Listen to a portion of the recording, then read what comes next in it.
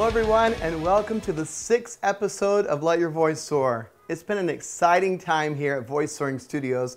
My instructional DVD and CD called Let Your Voice Soar was released last week, and I'm so happy that people all over the world are now able to learn about the concepts of the Swedish Italian vocal technique for pop, rock, and musical theater singers. So now it's time to get back to sharing some very important voice soaring tips for you guys. You know, tension comes in many forms.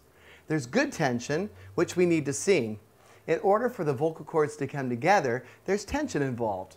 They're very similar to the strings of a guitar. They stretch and become more taut. That's good tension. And in order for the breath to become energized, we need to keep a bit of compression to keep it moving through the vocal folds. That's also good tension. But then there's bad tension, and that can come in many forms as well. So today, I want to talk to you guys about a form of tension that can really affect your singing in a negative way, and that is tongue tension. Tongue tension is something I've suffered with myself and something I see a lot of with new students. And it's an issue I will try to alleviate right away if I notice it in a new student. So first off, I want you to pronounce the five Italian vowels in this sequence. E, E, A, O, U. Now, I want you to place your finger on your tongue and pronounce the vowels again like this. E, E, A, O, U. Once again. E, E, A, O, U. You'll notice that starting with the E vowel, the tongue is in a high arch position and it goes down incrementally when we sing each vowel. And we need that to happen but we don't want the tongue to completely disappear when we pronounce the vowels. And we don't want it to stiffen up. When the tongue retracts too much, it's like putting a pillow on your pharyngeal space. Instead of sounding open and free, the voice sounds like it's suffocated. When this happens, the voice has to work harder because the space is closed. Does that make sense? If the tongue stiffens while you're singing a scale or a song, it can create a feeling as if you're belting every note. Have you ever had that feeling? So let me give you some really simple exercises to reduce tension in the tongue. First off, we'll start off with a gentle, non-aggressive exercise. Place your tongue between your lips like this. Hmm. So we're going to do a very simple glide from top to bottom on a five-tone scale. Ladies, you're going to sing up here.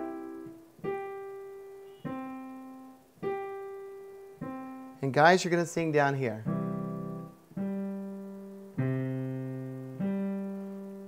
Let's start the exercise. Let me demonstrate how this works. Once again, place your tongue between your lips, hmm, and start the glide. Hmm. Now it's your turn. Let's take it up.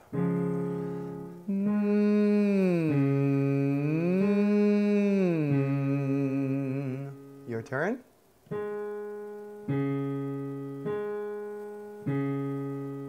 It up. Mm.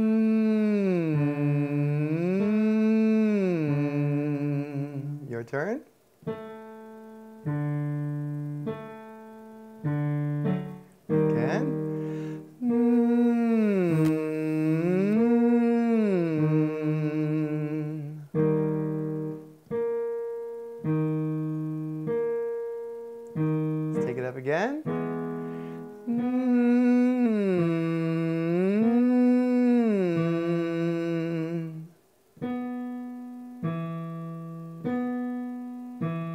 Take it up. Mm.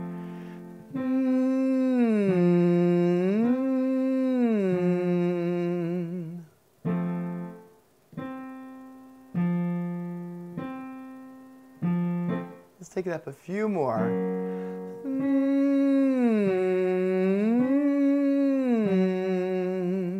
Your turn.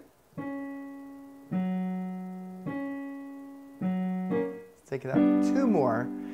Your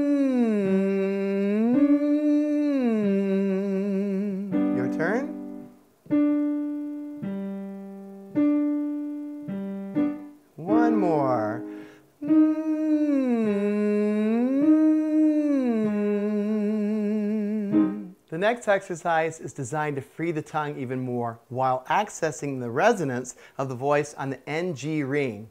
Now you may think this is a very funny exercise, and it is, but it's very effective in reducing tongue tension. Let me demonstrate. It goes like this. Mm.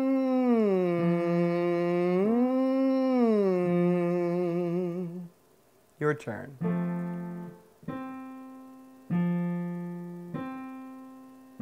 Let's take it down. Mm.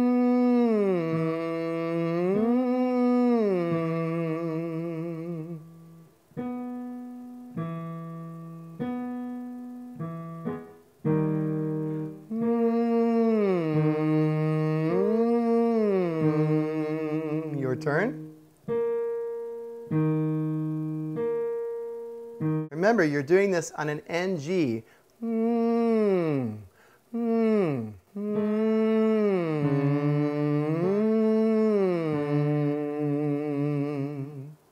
Your turn.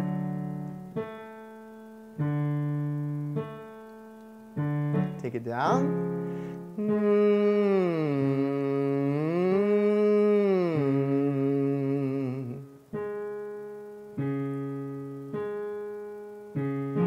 I know that's a really, really funny exercise, but it's so effective in getting the tongue out of that pharyngeal space, getting it free, taking weight out of the voice, which is so important, and developing the NG ring. Okay, now moving on to the very last exercise. And for this exercise, you only do one thing, and that's a number two pencil. Well, you can use any kind of pencil, actually. I like the number two, kind of like the ones used in Yes, that is a number two. this is kind of like the ones you used in school. Um, some people use chopsticks, some people use a pen, but I really like a number two pencil. All right, so this is how it works. It's a really crazy exercise, but so effective. So make sure your pencil is nice and clean because you're gonna put it underneath your tongue like this.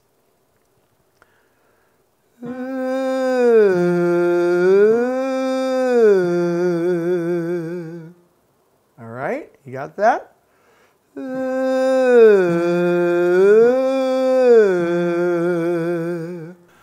not really pronouncing any particular vowel. I feel a feeling of uh underneath the sound. So let's do this again.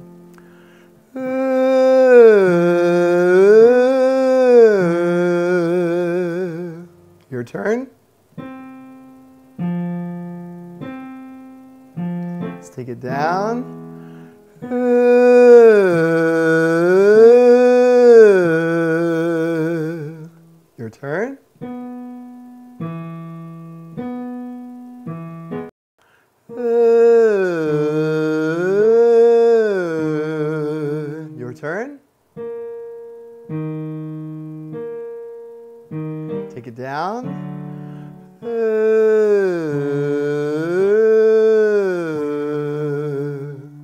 Turn.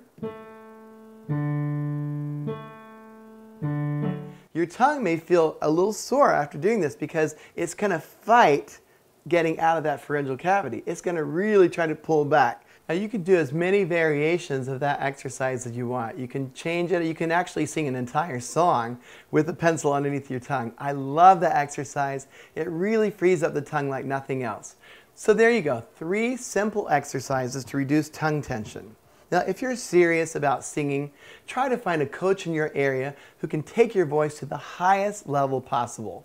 If you don't live in an area with a great vocal coach, I offer Skype lessons to singers all around the world. If you're in the New York metropolitan area, I teach in Midtown Manhattan, and I also have a studio right here in beautiful Montclair, New Jersey. I hope you found this information helpful. If you have any questions about this topic, please feel free to ask in the comment section below, or you can always write me at jeff at voicesoaring.com. If you enjoyed this video, please hit the like button and please subscribe. And check out the website for information about my instructional DVD and CD called Let Your Voice Soar. Until next time, keep singing and let your voice soar.